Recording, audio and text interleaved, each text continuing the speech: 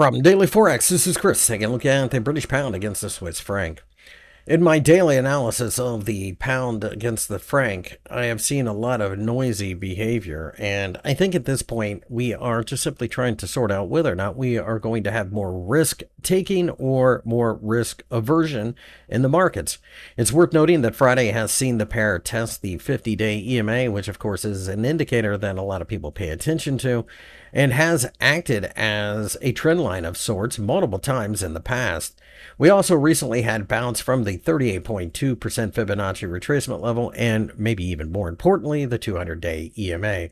With all that being said, you should also keep in mind that there is a major difference in interest rates, and therefore it does make a lot of sense that people will continue to hold on to this pair. If we can break above the 50 day EMA, then it opens up the possibility of a move to the 1.1450 level and then possibly even the 1.15 level. I do like holding this pair because you do get paid so much at the end of every day, but I also recognize that it is a very volatile pair, so you have to be somewhat cautious with your position sizing.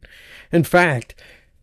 doing the carry trade in a pair like this is a bit of a balancing act because you obviously want to get paid, but you don't want to be overexposed in case there is a sudden sell off. Keep in mind that the Swiss franc is considered to be a safety currency, so if we start to see some type of meltdown with risk appetite, that could send this pair plunging.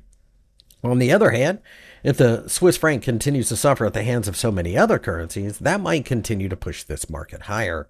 The candlestick on Friday was somewhat neutral, so I suspect we may get a little bit of a pullback, but as things stand right now, at the first signs of a bounce, I'm more than willing to add to my position after a short-term pullback. Longer term, I fully anticipate that we will go looking to the 1.15 level given enough time, maybe even higher than that.